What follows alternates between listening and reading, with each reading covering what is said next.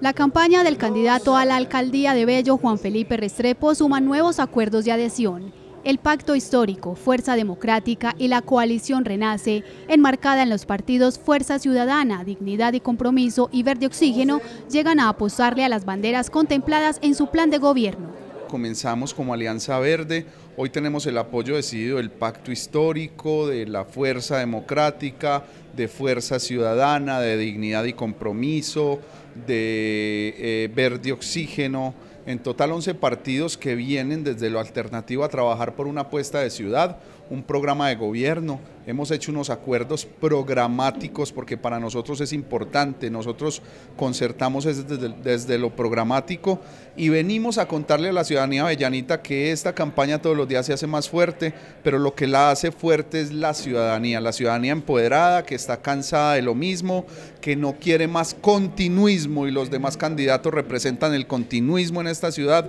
y nosotros representamos ese, ese cambio que quiere ver la ciudadanía enmarcada en un nuevo gobierno, en un gobierno que pues pretende y quiere construir una ciudad distinta. Todos confluyen en la necesidad de trabajar en la construcción de paz y en generar espacios de sana convivencia en el territorio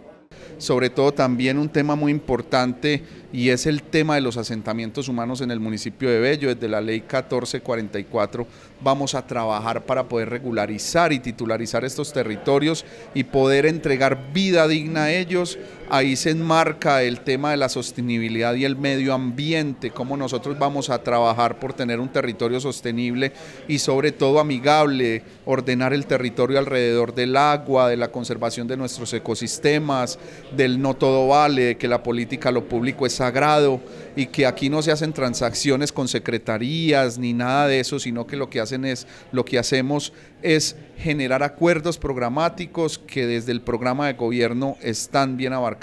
Para Restrepo, las acciones de confrontación entre fuerza pública y actores armados no son la salida en la búsqueda de paz. Hoy hay un relacionamiento dialógico por parte del gobierno nacional con los actores del conflicto. Lo primero que habría que hacer es desmontar esas economías ilegales. ¿Cuáles son esas economías ilegales? La extorsión, esto es una forma de extorsión, el microtráfico, todas las ventas ilegales de los lotes, todas las ventas ilegales de los servicios públicos. El desmonte de esas economías ilegales nos permite que el Estado pueda hacer presencia, pero eso tiene que darse primero generando escenarios de sana convivencia. No podemos entrar a confrontar con estos factores, porque esos son, ellos son factores reales de poder en el territorio y sabemos que la confrontación no va a ser ni siquiera aumentando la capacidad de policías ni nada de eso. Vamos a, enfrentarlos entregándoles oportunidades, oportunidades a nuestros jóvenes que nunca se les ha dado y que nosotros lo tenemos enmarcado en ese programa de gobierno.